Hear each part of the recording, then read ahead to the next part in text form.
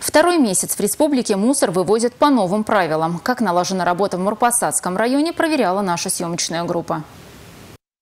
Селе Октябрьское о вывозе мусора задумались еще в 2006 году. Жители поняли, использовать мешки неудобно и непрактично. Сельский совет принял решение поставить металлические ящики, но и они оказались не совсем удобными. Но эти ящики опять быстро наполнялись, опять мусор валялся на, этот, по улице, летал, эти полиэтиленовые мешки летали по улице. Опять приходилось собрать, тем более вот эти ящик э, стоял недалеко от нашего дома. А мне не нравится, когда около моего дома валяются мешки, вот эти, в общем, мусор. Я почти постоянно собираю собирала.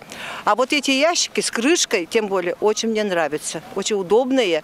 Открыл, бросил и все. И забот нет.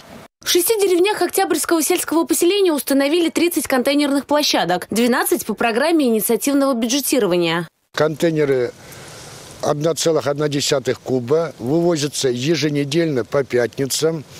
По требованию они могут вывести, если контейнер будет переполняться через каждые три дня, а то и ежедневно. Ну, по мере того, как мы будем уже просить их. А это уже Первочурашевское сельское поселение. Здесь нововведениями жители довольны. Валентина Феофанова рассказывает, такой системы вывоза мусора ждали давно, но есть некоторые замечания. Предлагает для сельской местности пониже, чем по сравнению с городом. Потому что в год собрать 2,2 кубометра отхода не из каждой семьи это получается. Поэтому теперь вопрос решается. Нельзя ли вот это рассмотреть применительно каждому хозяйству э, более-менее подходящую цену устанавливать?